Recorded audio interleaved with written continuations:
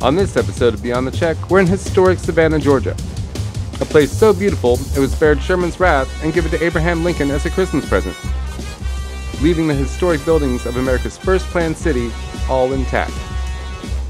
Now housing some of the best little restaurants in the South, one of which being the French-inspired cuisine of owner Chef Pat McNamara's Noble Fare restaurant. Now in his 12th year, Chef Pat serves up only the finest ingredients sourced from around the world bring his artistic vision to the plate for the enjoyment of locals and tourists alike.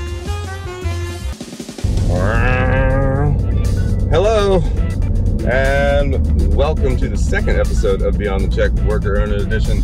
I'm Reyshan Parker, and I'm here with my beautiful, lovely wife, Jordan. Say hi, Jordan. Hi. We are down south in the beautiful and historic Savannah, Georgia, and we're heading to a very quaint little gem of a restaurant. It's a fine dining establishment just off the beaten path of downtown Savannah called Noble Fare, run by uh, Chef Pat McNamara. It's gonna be a good time. It's like some French cuisine. Jordan's gonna try some things that uh, she's never tried before, maybe. Should be good. Fun fact, cameraman for the day is uh, my good friend and producer, Cayman Eby. He doesn't like to be on camera, so he's following us right now in the car. He's gonna be hanging out. You'll know he's there, but you won't know he's there. Right, first, we're going to pick up a lovely lady named Steph, who has worked at the restaurant for years and is going to give us a little insight into the place. So that's gonna be fun. So uh, let's go pick up Steph. All right, we just picked up Steph. She is the manager slash catering coordinator slash service slash everything. Yeah, a little bit of everything. Uh, Noble Fare is a small, locally owned business. It was started in the end of December of 2007 by Chef Patrick and Jenny McNamara. And because we are so small, we all have to wear a whole bunch of hats. So, you know, not only am I like front of house manager and event planner and server, bartender, hostess, everything, uh, Chef Patrick is not only the chef, but is also in charge of, you know, doing all the ordering and will also be known to wash a dish when he uh, when he has to wash a dish. And that's pretty much every night. That's the life of a worker owner, I'm coming to find absolutely, out. Absolutely, absolutely. We are doing some renovations right now. We're just kind of changing up the interior a little bit, sprucing things up. It's it's that time. You know, the building was built in 1879, so it needs a lot of TLC. So definitely that time. Good place to work. Absolutely. I would have been there for eight years. Eight years. yeah, right. I mean, that's kind of once you pass seven years working somewhere, you're like, this is my life. I, yeah, and I have told them on many occasions, I'm like, you're gonna gonna have to like physically remove me from this building. I'm not going anywhere. I'm here for the long haul. So. I'm so excited to eat here. I was in once a long time ago okay. when he was doing the late night, like throw together whatever. Oh yeah, yeah, yeah, yeah, yeah, yeah, um, late night menu. With Cayman. Yeah, so. that was a yeah, that was. But years ago, ago, so I've never actually sat down and tried just the food. So You're gonna love it. I'm you really pumped. are. Um, all about quality. You know, if if it's not the very best that he can get his hands on, he won't serve it. So uh, you're really gonna be in for a treat if you haven't sat down and had the whole thing. I'm so excited. It's very exciting. I think you got front and center right here. Spot? Yeah, why not? Fantastic. And it's free. You don't find many free spots in downtown Savannah. Man, winning. I know. Parking gods. And you get side. to eat at Noble Fare tonight. Oh, high five. Okay. All right, I'm excited. Let's go meet Chef Pat. Let's do it. Woo! How you doing today? All right. Hey, hey what's happening? What's going on? Good. What brings you here today? You know, I'm hungry. Yeah, I perfect. I hear you have amazing food. That's okay. Uh, I'm gonna cook you today though. Sound good? A little veal chop? Yeah, yeah. Sound good? A little tuna? Yeah, yeah. How about some soup? Warm yeah. up, a little yeah. chili today? It is a little chilly today. And then I will finish with some dessert. All right. Sound good? That sounds fantastic. All right. I see you got some fun guys there. Oh yeah, let's go with the veal chop. I was Sound talking. Good? I was talking about us. Oh, gotcha. well, my name's Patrick McNamara. Um, we uh, acquired the building back in 2007 of July. It was actually 07, 07, 07. Like I say, the luck of the Irish is always being behind us, so it was a lucky day that day. And we've been open for 12 years now. 12 years. Yep. And Noble Fare, the name's where we came up from it. In Gaelic, Noble is Patrick, and my wife Jenny is Fair. We kind of finagled the spelling a little bit here to make it more Americanized. but that's where we came up with it. And uh, we're into fine dining. We love selling an experience when you come here. And I'm more of a specialty chef. Just because it's local and organic doesn't mean it's the best. I like to ship in my stuff from all over the world and uh, offer the best experience we can. Nice. What uh, what originally got you into cooking? Like, how old were you? What was your inspiration Uh, into like? I think it was actually started as a child. My mom, we were always had a set dinner. I was always late for dinner. And if you were late, whatever, fend for yourself in the fridge. So I think that's where I actually started cooking, whether it was leftover tomato soup, whatever. There was always something in there. And uh, I think that's where it all started. But then at one point, growing up, I worked in a restaurant. You know, my brother got me a job after he kind of graduated high school. I went into the uh, dishwasher. I always started in the dish tank, worked my way up. And I just kind of fell in love with the whole food and wine. And that started in my teens, and here we are. So you are the worker owner of this restaurant. You are you the only chef? Yes, uh, yep. Uh, I've been here um, since day one. Um, I've had a lot of different chefs or sous chefs come in, or apprentices come in the last 12 years, and they've actually been, they graduate from the program, I call it. You know, after teaching so many methods and techniques and theories and whatever philosophy, whatever, it's just get it done and be ready. But what's good is they go on and go to other kitchens and learn what they can. One of my classic things I do in an interview It's like, I know you know this, let me teach you this. Then when you walk away, you got that. But the thing is saying, hey, I know you can show me things, but let me show you what I want here. Then you can show me things whenever you get this done. Yeah. So Yeah. Fair is fair, right? Here, it's kind of the chef's dream to actually only have 12 tables. You can, can kind of troll everything, control the pace, the quantity. My ticket rail is only three feet big, so it's not going to get any bigger and sillier than that. It all starts with as soon as you walk through that door. What do we strive here is service, because I'm only as good as the, you know, the Front glass house. pour of wine, and you know, we're the defense in the back, and they're the offense out front, our service staff, and so it's the whole experience we provide. We do an a la carte full menu. We do pescatarian, vegetarian, so on and so forth. It might not be on the menu, but we'll accommodate everybody. I do classic food. I don't do shrimp and grits. Nothing wrong with shrimp and grits. If I have the if I have the grits, I'll do it for a customer if that's what they want. But I'll do my risottos, my carnarolis. I'll do all of my traditional sides. I'll do osso buco. I'll do lamb shanks. I do duck.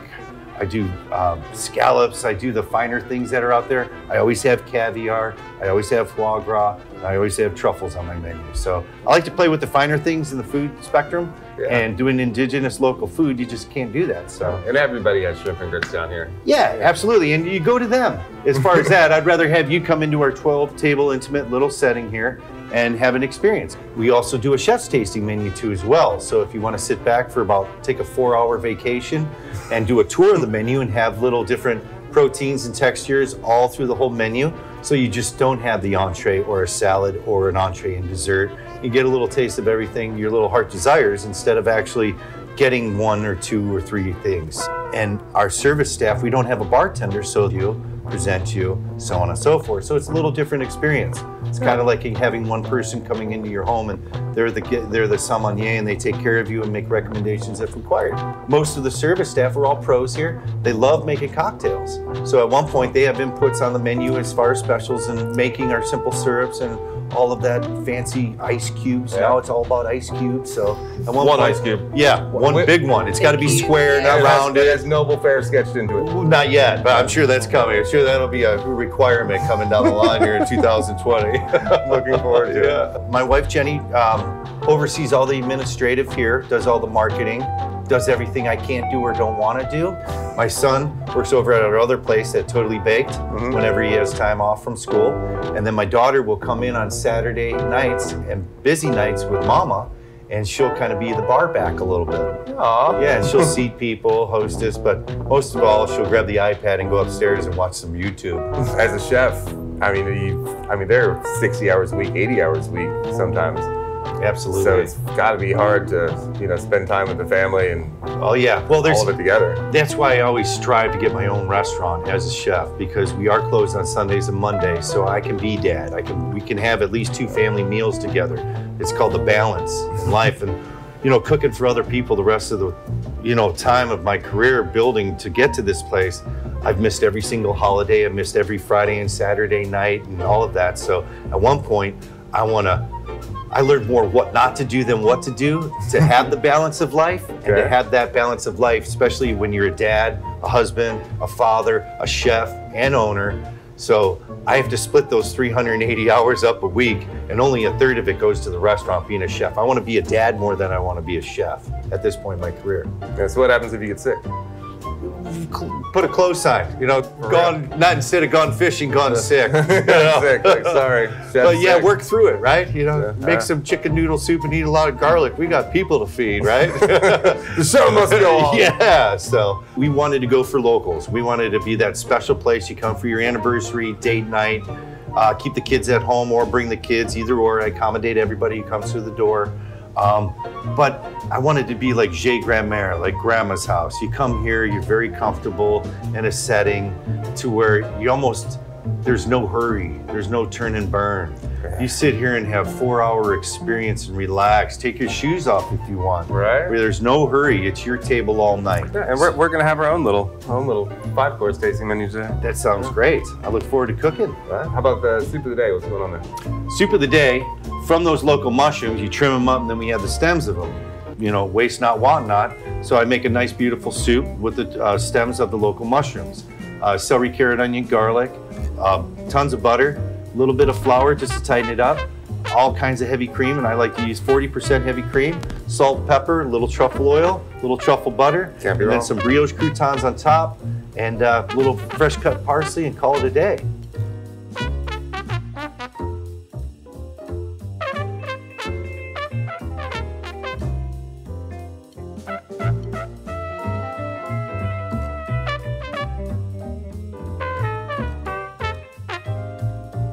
Right, so we have the mushroom bisque here. Jordan, you like mushrooms? Here or there. You're gonna try some. She's trying I'll new. try. She's trying new things. things. New things so today. that's what this is about. So here we go. The famous mushroom bisque.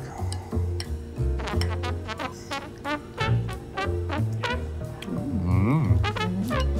Mmm. Oh wow.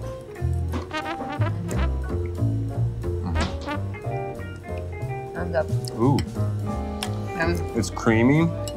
I expected there to be more like chunks of mushrooms, good though. but uh, it just like melts in your mouth. Do you like it? Do. She likes it. She likes mushroom bisque, everybody. And the croutons? Mmm.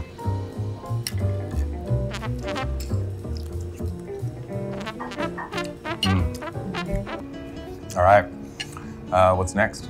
I would love to do the tuna tartare. Already, here's a fun fact. Jordan has never had tuna before. Oh, fantastic. She's, she's, gonna, she's gonna try some First tuna time. today. This is great. And what's good is the way having this tuna, it's going to be a cold preparation. So yeah, I'm going to do mine a little differently here. It's an ahi Alright. yellowfin tuna, comes in fresh. I serve it with a uh, pineapple pico de gallo, which is just a golden pineapple, uh, diced fine, cilantro, cumin, ancho, little red onion. We also toss that with a little bit of salt, pepper, do an avocado puree, put it in a nice little timbale tower, and then on top we'll put a little creme fraiche that we make in house.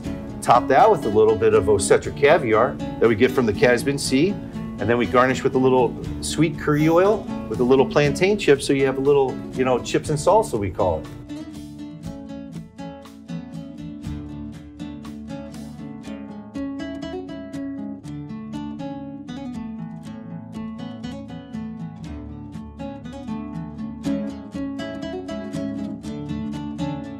Okay, so we now have the tuna tartar here, as well as the Savannah Mule. It's a house specialty. It's very gingery and delicious. You should. I wish you could have one.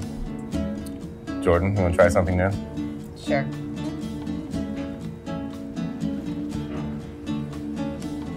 Yeah.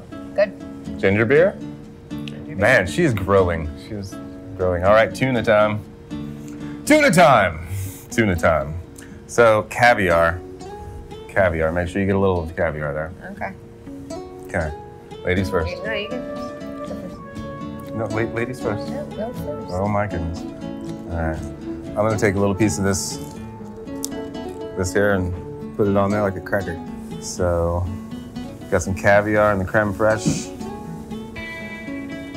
tuna. Put it on there. Come on, join me. Do it at the same time. You want this one? Okay.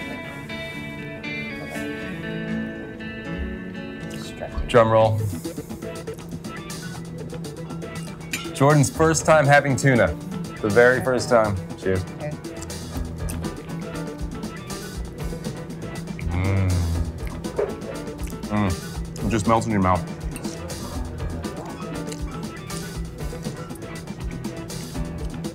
Not sold? Mm. So it's got the pineapple, like little crunches of the sweet pineapple. They just like really bring out the freshness of the tuna with this like hint of herb.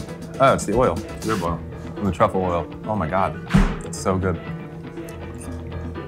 I'm sorry you don't like it. Cayman, No, you're gonna like love it. this. You're gonna love this. Oh, Okay. I like it. Um, Not tuna breast. the headliner time. The one dish that somebody would drive a million miles just just to. Absolutely. I fly in this veal, okay, from the Netherlands. It's a Dutch veal and it's a pan roasted veal chop. The veal comes in racks. I get a hotel cut. So what I'll do is take the fat cap off of it and the sinew down. And then I'll do individual chops after I clean and French the bone up. And then what I'll do is with once I have the individual chops, I'll tenderize them just a little bit. Don't pound them out because they're beautiful and they're huge. They're big, the biggest veal chop you'll ever have next to Fred Flintstone. And then I'll pan roast it. But before I pan roast it, I'm gonna rub in sweet smoked paprika, uh, Tellicherry peppercorns, and a little uh, just kosher salt. Something real simple. Pan roasted a little duck fat, little canola, and some brown butter. Both sides. Finish in the oven. Pull it out and serve it just with some local mushrooms from my local forager, some cremini mushrooms, a little veal glaze, and a little bit of truffle oil and red wine reduction. Just keep it meat and potatoes, real something simple.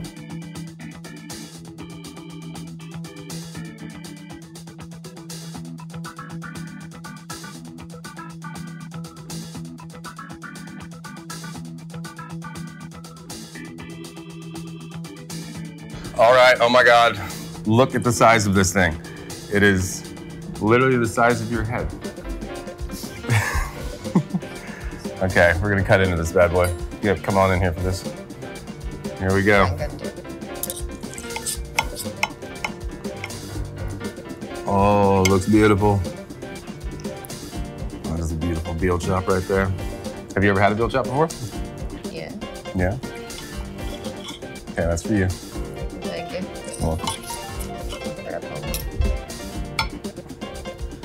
Oh, I'm having a big bite. this is, I mean, it's a, a big chop. I'm having a big bite. You ready? Cheers. Australia.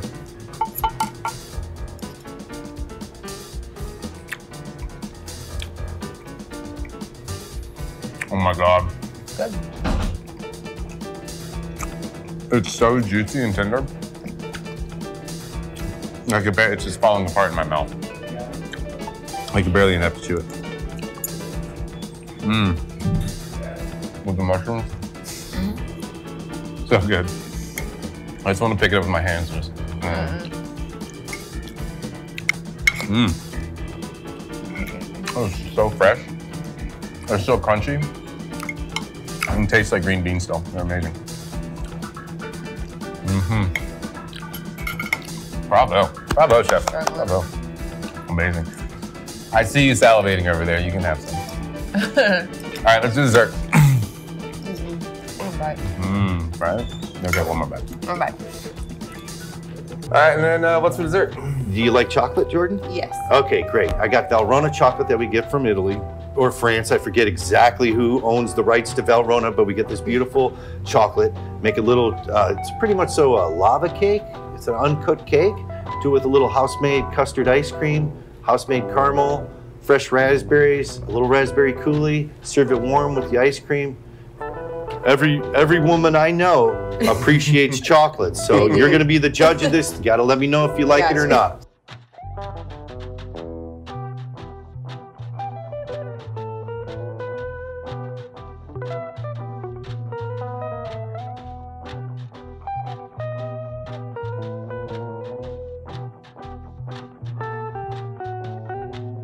All right, we now have a chocolate lava cake.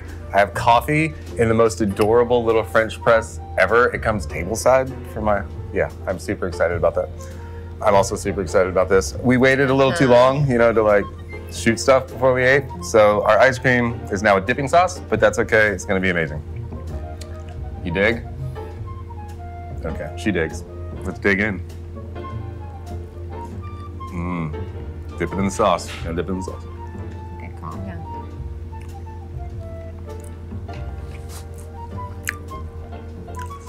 I think I just went to heaven and back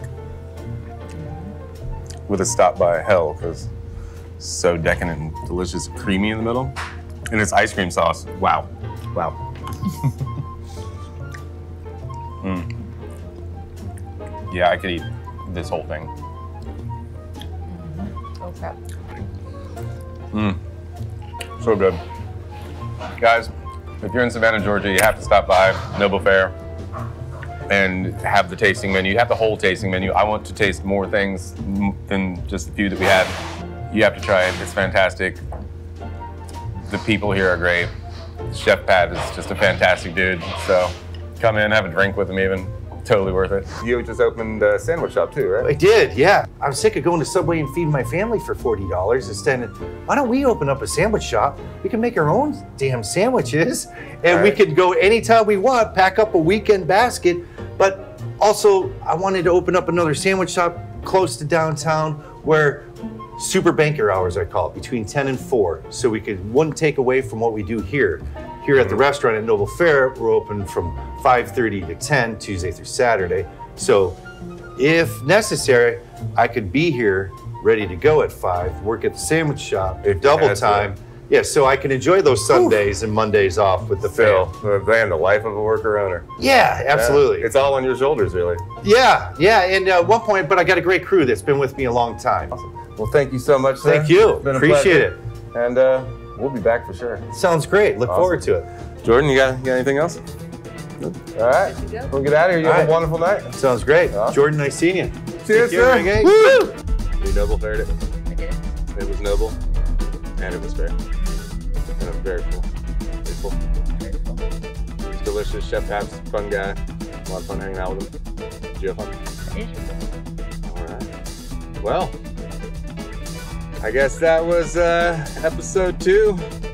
Thanks for hanging out and watching, and uh, off to the next. So see you next time we go beyond the check. Worker owner edition. Cheers.